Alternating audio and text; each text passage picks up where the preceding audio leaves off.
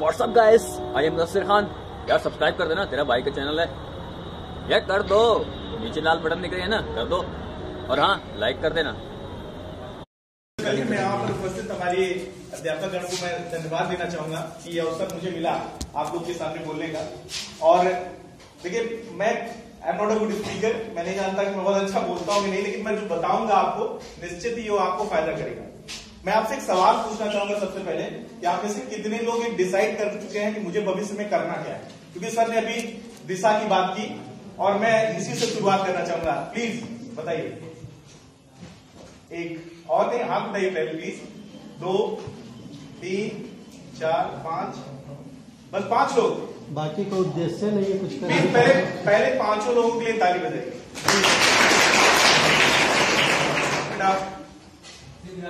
बेटा शिवदयाल बताइए क्या बनना चाहते हैं? इंजीनियरिंग करना चाहते हैं। इंडियन एयरफोर्स ओके ओके आप में से किसी ने हाथ उठाया था? ओके ओके प्लीज़ उनके लिए भी ताली बजा दीजिए। अब लड़कियों में एक नहीं लड़कियों में किसी एक लड़की ने हाथ उठाया था प्लीज़ हाँ। आप क्या बनना चाहते हैं?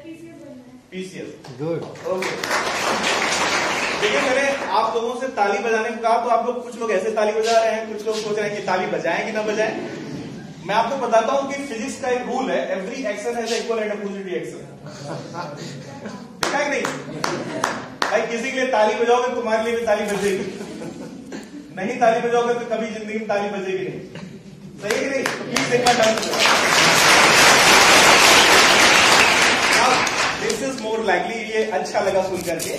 और देखिए, मैंने आप लोगों से उद्देश्य के बारे में पूछा। मैं आपको एक छोटी सी कहानी बताना चाहूँगा। मैं जब यहाँ पर पढ़ा मैंने तो मुझे लगता है कि जो मैंने यहाँ और दिल्ली में मैं आगे पढ़ाई की उसमें कंपैरिजन अगर आप मैं करूँगा तो वहाँ के बच्चे क्या वहाँ के बच्चे हमसे ब्रिलियंट नहीं होते हैं। वो लोग हमसे ज़्यादा तेज नहीं होते हैं। लेकिन उनमें सिर्फ़ एक अंतर होता है कि उनको ये पता होता है कि मुझे करना है। तो मैंने जब आपसे उद्देश्य पूछा तो सिर्फ़ पाँच बच्चों ने हाथ उठाया। मैं आपको एक छोटी सी कहानी सुनाना चाहता हूँ। एक जंगल में दो दोस्त पिकनिक मनाने जाते हैं। अब पिकनिक मनाते रहते हैं, सामने से देखते हैं शेर आता रहता है। शेर को देख के पहला दोस्त दूसरे दोस्त से बोलता है कि, देखो भैया, शेर आ रहा है। शेर को देख के दूसरा दोस्त तुरंत जूता पहनना शुरू कर देता है। पहला दोस्त फिर से बोलता है, भाई, जूता क्यों पहन रहे हो? शेर से तेज भाग लोगे? तो दूसरा दोस्त बोलता है, मुझे शेर से तेज नहीं, मुझे तुमसे तेज भाग अगर मैं तुमसे तेज भाग लूँगा तो फिर तुमको दिस इज़ कॉम्पिटिटिव वर्ड अगर आप ये सोचते रहोगे कि मैं तो शेर से तेज भाग ही नहीं पाऊँगा, मैं बीएससी कर रहा हूँ, फिर क्या करूँगा तो आप कभी कुछ नहीं कर पाओगे। मुझे लगता है ये पाँच बच्चे आपसे आगे हैं। और आपको पता है, मैं ये प्राउडली कह सकता हूँ कि जब मैंने यहाँ पर पढ़ाई की ओपी सर और शशि सर से मैं मैं रियली बताऊँ, उन्होंने हम लोगों को इतना इंस्पायर किया कि हम बड़ा सोच सके। और मुझे लगता है कि आप इतने अच्छे स्कूल या कॉलेज में पढ़ने के बावजूद अगर आप ये डिसाइड नहीं कर रहे हैं तो आप थोड़ा सा अपने साथ अन्याय कर रहे हैं।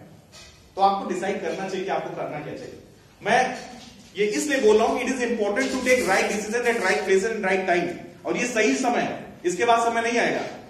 इसके बाद आप सिर्फ़ ये कहेंगे, अरे, मेरे पापा पढ़ाए नहीं तो हम बहुत अच्छा कर लेते या, मैं तो बहुत गरीब था। मुझे लगता है कि ये सब एक्सक्यूजेस मैं अभी आपको इसके बारे में बताऊँगा बट पहले मैं अपने बारे में बता दूँ आपको। मैं बारहवीं तक कभी टॉप नहीं किया frankly speaking I was never a topper मैं बारहवीं तक मेरी रैंक आती थी क्लास में सेवन मुझे याद है कि मेरी नाइन्थ में हाईएस्ट रैंक आई थी वो थर्ड जब मैं बीएससी करने आया तो मेरे फादर ने मुझे एक बार बुलाया और मुझसे बोला कि ये बताओ बेटा, कभी ज़िंदगी में मुझे भी सुनने को मिला कि मेरे बच्चे ने टॉप किया? तो मैंने अपने पिताजी से ये कहा कि पापा, आज के बाद चाहे मैं ग्रेजुएशन में चाहे पोस्ट ग्रेजुएशन में टॉप करके दिखाऊँगा। और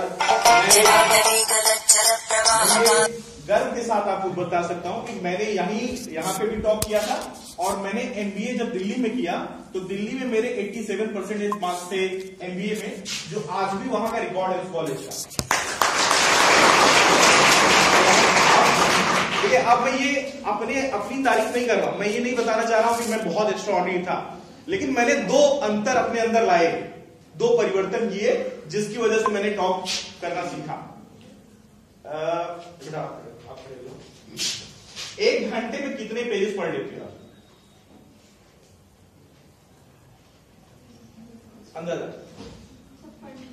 तीन, चार, कितने पेजेस याद कर लेती हो पाँच ज़्यादा है, मुझे लगता है ज़्यादा है पाँच। मुझे लगता दो तीन।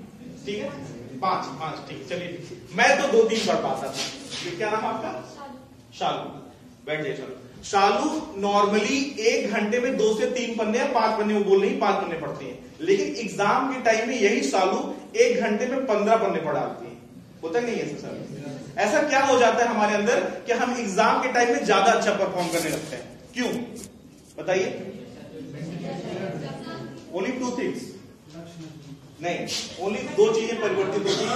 मैं बताता हूँ आपको क्या। वो है, आपका फोकस बढ़ जाता है और आपके ऊपर प्रेशर बढ़ जाता है। आपका कंसंट्रेशन बढ़ जाता है और आपका प्रेशर बढ़ जाता है। अब नॉर्मली जब आप पढ़ते हैं तो आपको विराट कोहली की बैटिंग याद याद आने लगती है। कि भैया, विराट क्या किया आज? और लड़कियों अरे वो वाली मेहंदी की डिज़ाइन बहुत अच्छी होता है एक्चुअली ऐसा होता है। मतलब maybe I am wrong लेकिन ऐसा होता है। देखिए, आप नॉर्मली क्या करते हैं? आप नॉर्मली आप एक घंटे में अपने पंद्रह मिनट ही यूटिलाइज करते हैं। आप पढ़ते हैं और आप पाँच लाइन शुरुआत की पढ़ते हैं, उसके बाद फिर कहीं सोचने लगते हैं, फिर वही पाँच लाइन दोबारा पढ़ते हैं। तो you are wasting your time ठीक है? पहला पहला परिवर्तन मैंने ये किया कि जब मैं पढ़ता था तो सिर्फ़ पढ़ता था। मैं आपको रियली बताऊँ, मैंने बीएससी के दौरान मुझे याद नहीं कि तीन घंटे लगातार कभी भी पढ़ा हूँ। चाहे एमबीए करने के दौरान लगातार मैं तीन घंटे कभी पढ़ाई की हो एग्ज़ाम छोड़ के। बट मैं जब एक घंटा पढ़ता था तो सिर्फ़ पढ़ता था। उस समय मेरे दरवाजे बंद हो जाते थे और मुझे सिर्फ़ पढ़ाई समझ में आती थी। और मैं आपको बताऊँ, इसके कारण से मैं इफिशियंसी अपनी ज़्यादा यूज़ कर पाता था और मैं एग्ज़ाम की तरफ़ परफॉर्म कर पाता था। मैं आपको ये क्यों बता रहा हूँ? क्योंकि अगर आप आज से एक ही घंटा पढ़ेंगे डेली लेकिन जैसे आप एग्ज़ाम के टाइम पे वैसे पढ़ते हैं, वैसे पढ़ेंगे तो आप दो महीने में पूरा कोर्स कंप्लीट कर लेंगे। आपको लग रहा होगा ये तो हाइपर हो गया। लेकिन ऐसा है। दूसरा रीजन आप हमारी सबसे बड़ी कमी होती है सफ़ाई देने की। एक्सक्यूजेस देने की। ये भी मैंने अपने अंदर परिवर्तन लाया था। एक्सक्यूजेस कैसे देते हैं? जैसे एग्ज़ाम हुआ। घर पहुँचे पापा ने पूछा बेटा कैसा नंबर आया? कैसा एग्ज़ाम हुआ? पापा पेपर आउट ऑफ़ कोर्स पूछ लिए थे। और सर तो पढ़ाई भी नहीं थी वाला चैप्टर सबका खराब हुआ पापा। मेरा कुछ ठीक हुआ। मान लीजिए टफ पेपर आ गया तो ये बहाना। अब अब पता लगा कि इजी पेपर पापा को पता चल गया कहीं से बहुत इजी पेपर आया। तब क्या बहाना मारते हैं? पापा पेपर तो इजी था लेकिन मुझे लगता है एक बार यूनिवर्सिटी में मार्किंग टफ होगी। क्योंकि जिस साल पेपर इजी आता है उस साल मार्किंग टफ हो जाती है। मतलब कुल मिला के मुझे डूबना है। सही नहीं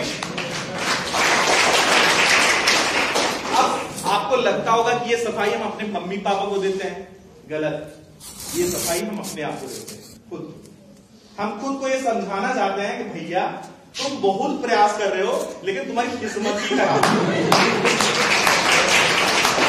फ्रेंकली स्पीकिंग अब आप किसको समझाते हो? आपके अंदर एक इंसान बैठा है। मैं आपको फ्रेंकली बताऊँ, हर व्यक्ति के अंदर सर ने एक बात, बहुत बढ़िया बात बोली थी। कि सबके अंदर खूबियाँ होती हैं लेकिन मैं ये मानता हूँ कि हर इंसान के अंदर हर खूबी होती है। क्यों? क्योंकि जो इंसान आपके अंदर बैठा है वो सर्वगुण संपन्न है। बट आप उसको समझाते रहते हो भैया तुम कर नहीं पाओगे। समझ रहे हो? मैं एक, एक एग्ज़ाम्पल आपको देता हूँ। आप ये बताओ आप लोग कभी सुबह ट्रेन पकड़े हो? पकड़े हो ना? क्या अलार्म लगाने की ज़रूरत पड़ी थी? सुबह चार बजे अपने आप नींद खुल गई थी ना? ट्रेन छूटी? नहीं। जब हमारी ट्रेन होती है, हमारी अपने आप नींद खुल जाती है। हमारा एग्ज़ाम होता है, हमारी अपने आप नींद खुल जाती है। लेकिन हम डेली अलार्म लगाते हैं और एक बार बंद कर देते हैं, सो यार। हमें अलार्म नहीं जगाता है। हमारे, हमें हमारे अंदर बैठा अच्छा इंसान जगाता है। यू डोंट नीड अलार्म मैं आपको रियली बता रहा आपको अलार्म की आवश्यकता नहीं है। आपको आवश्यकता सिर्फ़ इसकी है कि आप अपने आप को समझाना बंद कर दो। आज से एक्सक्यूज देना। अरे राणा प्रताप में पढ़ाई नहीं मार्किंग बहुत तक करते हैं चीटिंग तो होती तो नंबर कहाँ से आएगा? सर बहुत स्ट्रिक्ट हैं। ध्यान नहीं दे मतलब डांट देते हैं ऐसा नहीं है। मैं आपको रियली बताऊँ, हम, मैंने अपने लाइफ में जितने भी टीचरों के संपर्क में मुझे लगता है ओपी सर और शशि सर का मैं नाम खास कर लेता हूँ हमेशा। क्योंकि मैं आपको रियली बताऊँ, जितने कोऑपरेटिव हुआ है उतना कोई हो ही नहीं सकता। अब आप कह रहे होंगे सर की तारीफ़ सब लोग करते हैं। और मुँह पे खासकर। लेकिन असलियत ये है बेटा। बेटा कह रहा हूँ सॉरी मेरा थोड़ा सा एज बढ़ गई है इसलिए बेटा मुझे निकल जा रहा है। और मैं अपने क्लास में पढ़ाता हूँ तो बेटा बोल देता हूँ सॉरी अगर उसके लिए आप लोग को लग रहा होगा सीनियर है। सो मुझे लगता है कि सफ़ाई देना बंद कर दीजिए। अगर आपको आगे बढ़ना है तो दो चीज़ें जो मैंने बताई, आपको अपने अंदर परिवर्तन लाना है। वो पहली ये, कि आपको सफ़ाई नहीं देनी है। दूसरा ये, जब पढ़ना है तो पढ़िए। अगर न पढ़ने का मन करे, किताब बंद करिए, चाहे क्रिकेट खेलिए, चाहे आप सीरियस देखिए whatever you want to do it but don't waste your time just trying to tell you that I am reading अपने आप को दिखाते हुए भैया, मैंने दो घंटा पढ़ा और पढ़े आप एक घंटा भी नहीं, ऐसा मत सिद्ध करिए प्लीज़ और अगर आप ऐसा करेंगे, आप देखेंगे, मुझे लगता है जो आईएएस पीसीएस में बच्चे बनते हैं, आपको, आपने सुना होगा, उन्होंने कहा कि मैंने यूनिक की गाइड को पंद्रह बार पढ़ा साल भर में। जो आप एक बार नहीं पढ़ पाते, साल भर में पंद्रह बार कैसे पढ़ सकते हैं? बिकॉज़ ऑफ़ द कंसेंट्रेशन ठीक है? एग्री करते हैं कि आप लोग एग्री करते हैं? कि मैं झूठ बोल रहा हूँ? ओके एग्री करते हैं। अब एक लक्ष्य की बात आई। मैं आपको एक बहुत बड़ी बात बोलूँगा। शायद आपको लगेगा कि नहीं सर, आप ऐसे ही बोल रहे हो, लेकिन मैं आपको रियली बताऊँ, आप लोग बहुत भाग्यशाली, बहुत ज़्यादा, खासकर ये लड़कियाँ। क्यों? क्योंकि आप लोग पोस्ट सॉरी ग्रेजुएशन कर रहे हो। भारत में कितने कम प्रतिशत लोग ग्रेजुएशन कर पाते हैं आपको पता ही होगा तो आप लोग बहुत भाग्यशाली हो कि आप ग्रेजुएट बन रहे हो। वो भी बीएससी कर रहे हो। मैं एक लड़की की कहानी आपको ज़रूर बताऊँगा। मैं गया था अमेठी में एक रानी सुषमा देवी डिग्री कॉलेज उसमें गया, उनकी प्रिंसिपल से मेरी बात हो रही थी। उन्होंने बताया कि, सर, एक लड़की की मृत्यु हो गई यहाँ पर। तो मैंने पूछा, कैसे? तो उन्होंने बताया कि ये लड़की सत्रह किलोमीटर से साइकिल चला के आती थी कितनी दूर से?